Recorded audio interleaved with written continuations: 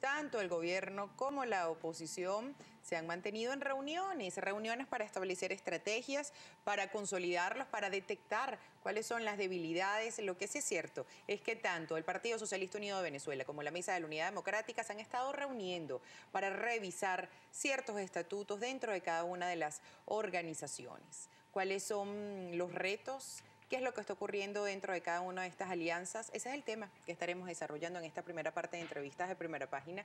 Y para eso tenemos al analista político, comunicador social, además, Alberto Aranguibel. Muy buenos días, bienvenido a primera página. Gracias por la invitación.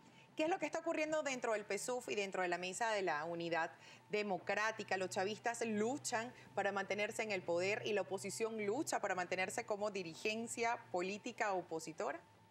No, no pareciera ser eso exactamente. Pareciera en principio que tal como ha venido siendo desde su fundación, el Partido Socialista Unido de Venezuela está profundizando lo que fue un planteamiento expreso desde siempre, desde su fundación, como digo, por parte del comandante Chávez, de cuál debía ser el carácter que debía tener la organización política revolucionaria de cara a las aspiraciones, a las necesidades de la sociedad que era el de la transformación de la instancia política ya no en un organismo para la búsqueda del voto, solamente como desde siempre fue el concepto de la partidocracia en nuestro país y probablemente en el mundo, sino que fuera una organización al servicio de la construcción del poder popular, que en vez de ir a buscar el voto fuera a aportar soluciones, a apoyar las luchas del pueblo tal como lo planteó el comandante Chávez en sus mm, cinco líneas de acción estratégica política que presentó en enero del 2010 al partido y al país. En el caso de la MUD, lo que estamos viendo es la extinción casi que por gravedad, eh, como un hecho natural, pues, que tiene que darse de un organismo que nunca fue unitario, que tuvo el percance que precisamente eh, fue una alianza de carácter electoral eminentemente, pero sin sustento político, sin ninguna propuesta política de fondo que le diera sustentabilidad y posibilidades de evolución y de desarrollo, que es lo que está haciendo el Partido Socialista Unido de Venezuela con su tercer Congreso Ideológico. Aquí lo que estamos viendo es el fracaso, una vez más, de las políticas insustanciales de la derecha que están acusando en este momento uno de los aspectos que dejaron de lado desde siempre en la oposición con ese, como digo, fallido proyecto unitario, que es el de no solo ser objeto de los beneficios que pudieran haber obtenido eh, como grupo eh, político, sino que también asumen o deben asumir lo que son los percances de ellos. En este momento se habla mucho de la búsqueda del relanzamiento de la mesa de la unidad, pero se deja de lado siempre o casi siempre las razones que los llevaron a esa desintegración.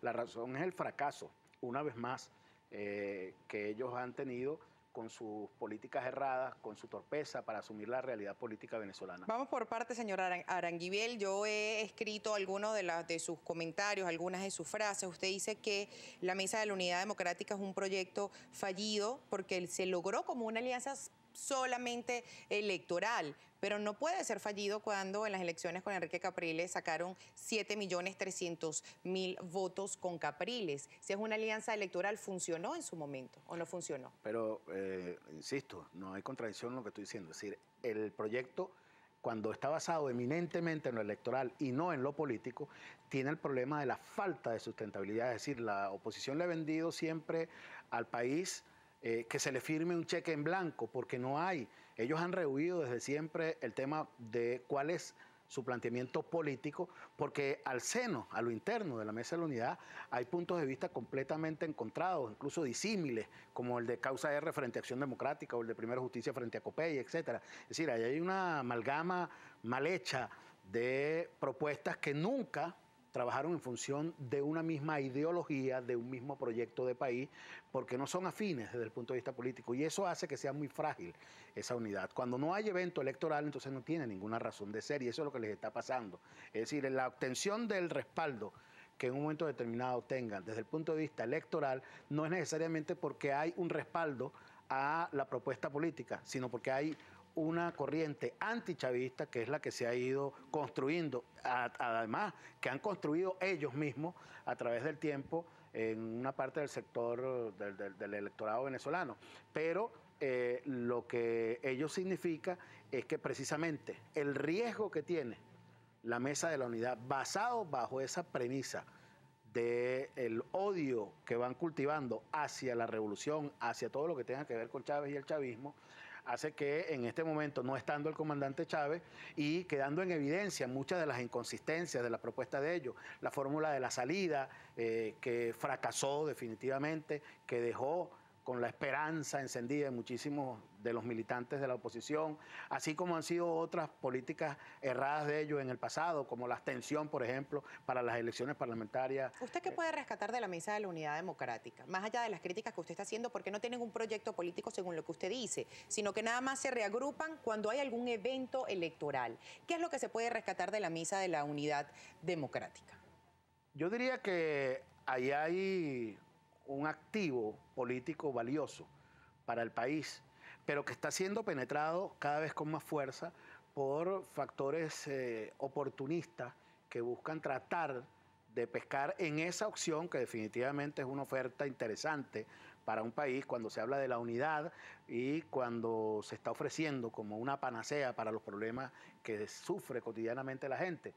Eh, en, ese, en ese esquema, eh, por supuesto, es eh, atractiva la oferta de la unidad, pero cuando hacia lo interno, digo, se va a revisar, se encuentra con que los factores que son verdaderamente factores políticos valiosos en el ámbito nacional, de trayectoria, que trabajan en la construcción de política con el pueblo, en las asambleas, en el barrio, en las comunidades, eh, al ser solapados por estos factores oportunistas, eh, empiezan entonces a ser ellos mismos actores y eh, inductores de su propia destrucción. En este momento hay una oportunidad valiosísima para esos factores, para esos sectores, de dar la cara ante el país con un rostro de responsabilidad, reconociendo el fracaso de la unidad, antes que tratar de rescatarlo. Eso es como quienes tratan de rescatar, por ejemplo, el Titanic, que creen que rescatando una cantidad de cabillas oxidadas en el fondo del mar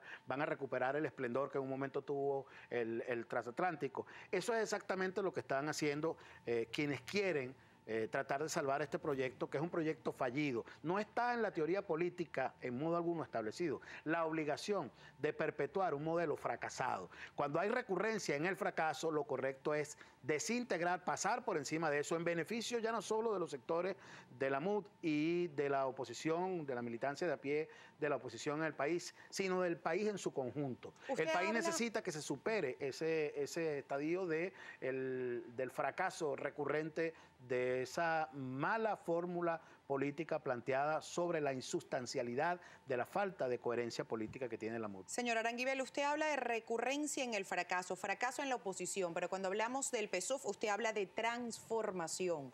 ¿Cuándo se puede hablar de fracaso? ¿Cuándo se puede hablar de transformación? Porque según algunos, algunas posturas se puede hablar de fracaso, de recurrencia en el fracaso, en el discurso y en el PSUF, cuando tenemos una inflación, según la estimación del CEPAL, del 3.120%, cuando ha habido más de 3.000 muertos en el primer semestre de este año. Eso puede ser recurrencia al fracaso según las políticas del oficialismo. ¿Qué piensan los, las personas, los venezolanos acerca del PSUF, las diferencias dentro del PSUF? Nosotros los dejamos con esta encuesta, con estas consultas, cuando Globovisión salió a la calle y al regreso. Seguimos conversando con el analista político y comunicador social Alberto Aranguibel. Ya regresamos. Lo que pasa es que no la sacan a la luz pública. Siempre hay, la guerra de poder es muy sabrosa.